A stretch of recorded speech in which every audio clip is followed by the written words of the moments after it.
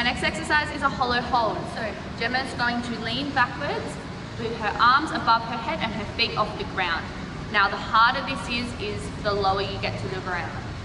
So if you want to make it harder, just lower yourself further down.